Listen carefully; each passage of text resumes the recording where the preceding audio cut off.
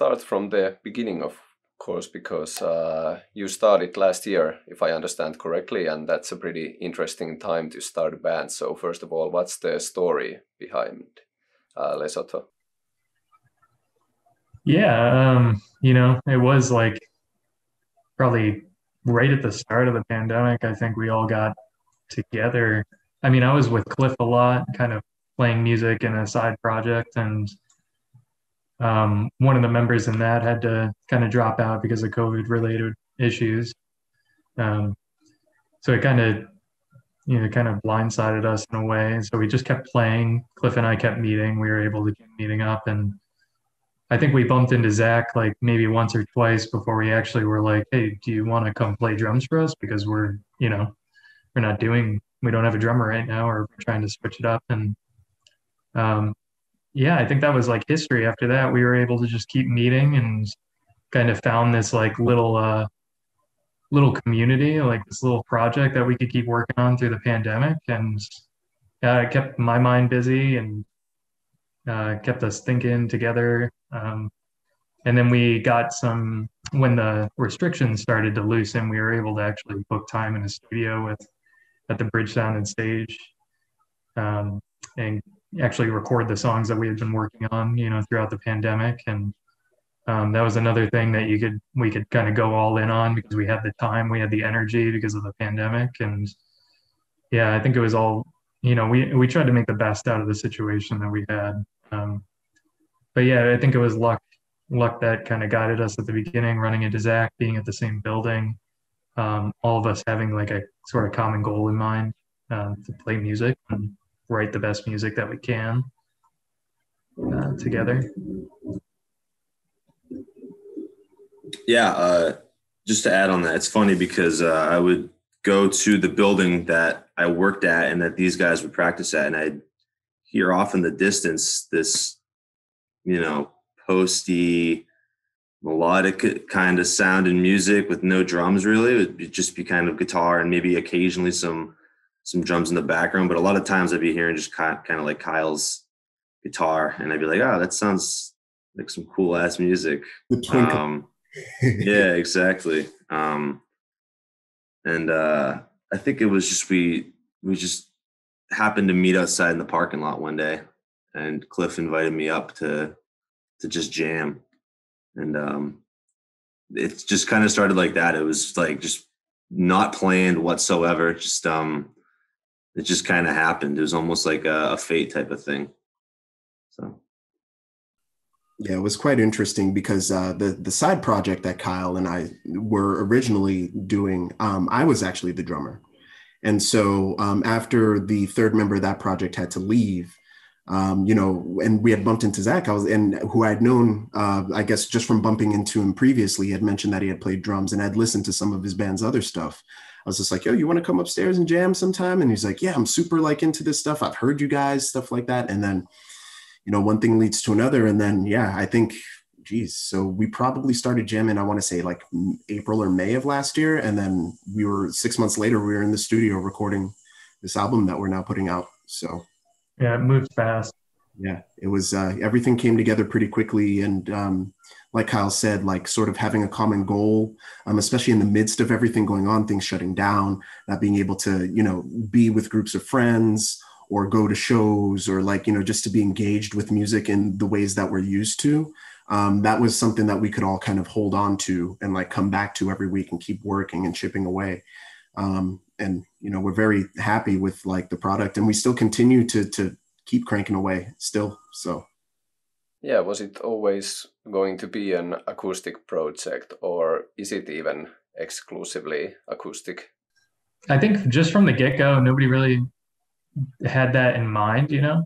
Um, I think a lot of the stuff that we were writing uh, when we first started just sort of grew from like the circumstance and the environment that we were in, you know, us being like just together. And I think after you you know every every practice that we had we'd record and we'd listen back to and um, i think over time it was just like no this is it you know this is this is the goal this is what we're doing and um, i think a lot of the music kind of breathes on its own without vocals and kind of has a melody in its own um, that you can follow throughout the songs. And um, yeah, I don't know, it, it, might be different for you guys, but that's how I've kind of, it kind of sank in throughout the throughout the project.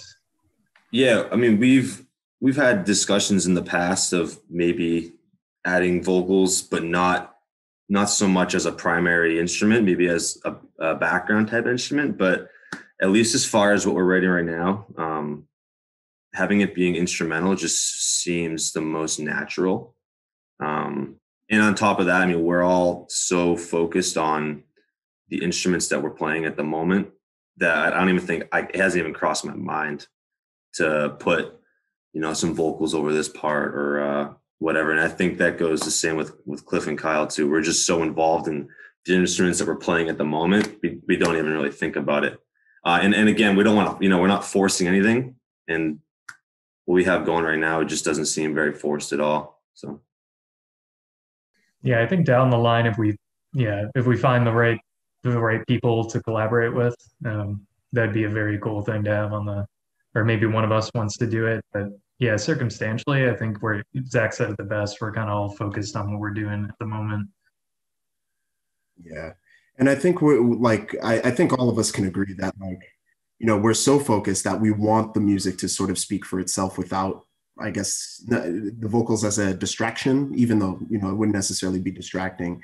I would say if we were to include it, kind of like how they referenced, uh, we would want it to sort of be an enhancement or sort of a feature of it but not something that everything else, as far as arrangements, are centered around.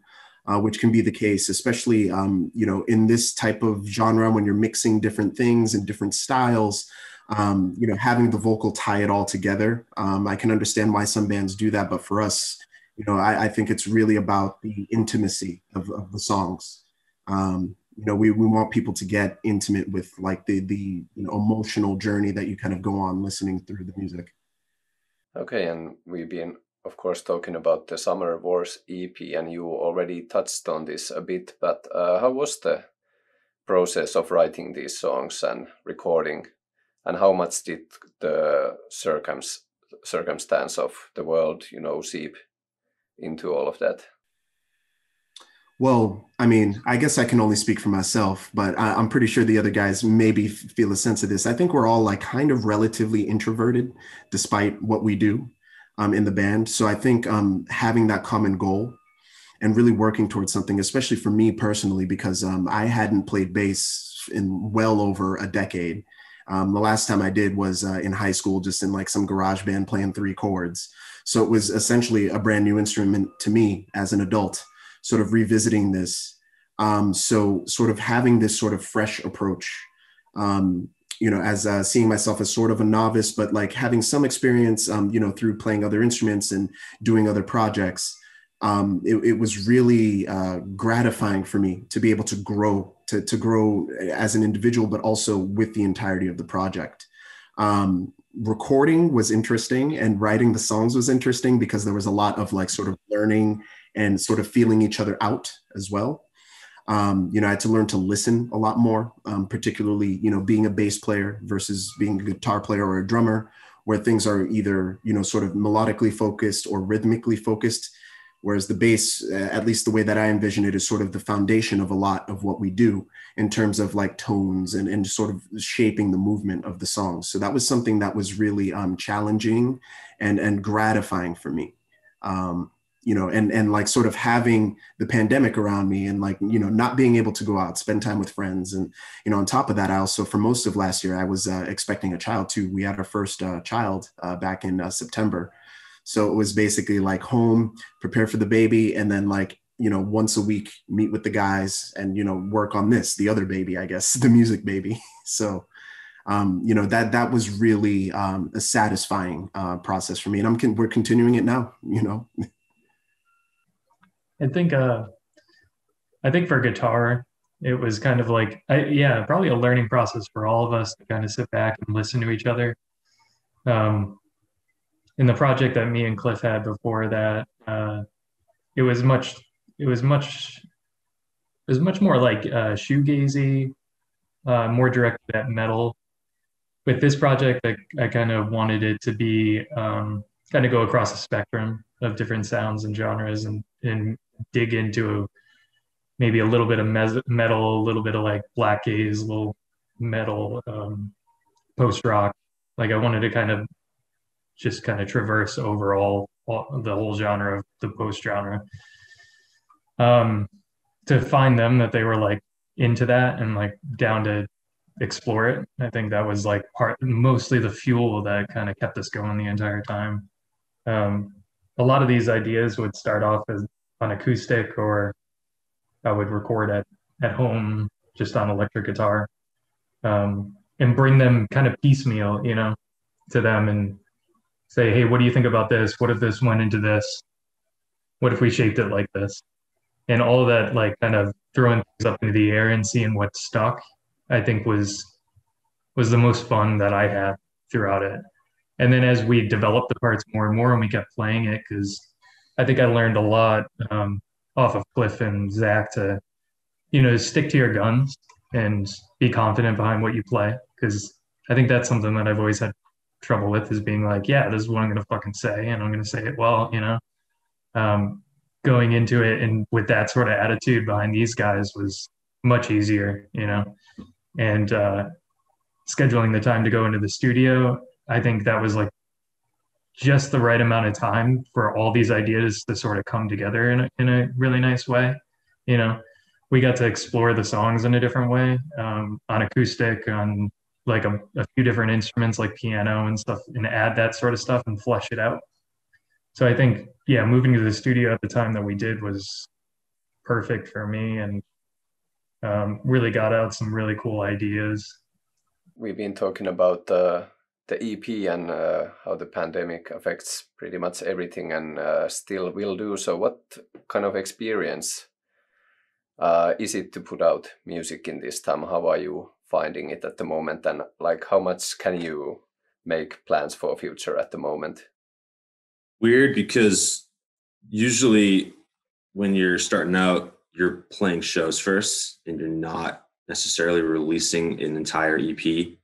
Um, so it's kind of backwards in that sense. You know, usually you you get three or four songs first, you play four or five shows, and then you kind of get that studio time. But for us, we had just a bunch of time to practice, a bunch of time to set shit down, and not only get out the EP, but also do a uh, an entire live video in that process. And I feel like it's it's been kind of backwards. Um, so it's just been the pandemic's been super weird in that sense, and uh, no, literally, no one's really heard our stuff yet because of that. Whether it's yeah, whether it's live or even even recorded, like no one, we don't really have anything out, so it's uh, it's it, it's gonna kind of be like this big boom almost once the uh, the EP and that live set kind of comes out, and you know once we start getting those shows and but yeah, it's been it's been backwards with the pandemic, um, and it it's been interesting too because of that. I think all the time to practice has been super beneficial. Like before we even started recording, we had practiced the songs for hours at a time and fleshed them out, and been like this this could work better. Let's brainstorm more on this part, you know. Um, yeah, and just being able to, I think it's like what uh, what a lot of bands like always imagine they could do when starting a band. They're like, all right, let's get some studio time, let's get all this stuff set up. It's like, well, we actually like did that, you know, and it's a good feeling to like have all that stuff sort of all that work out in front of you like that. It's it's humbling in a lot of ways.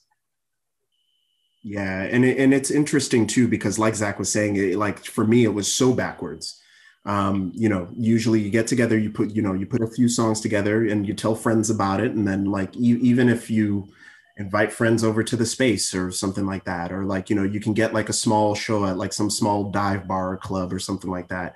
You know we never really got that opportunity. So we just sort of reinvested all of that into into like just creating this like really massive piece of music. Um you know so we're, we're happy with it for sure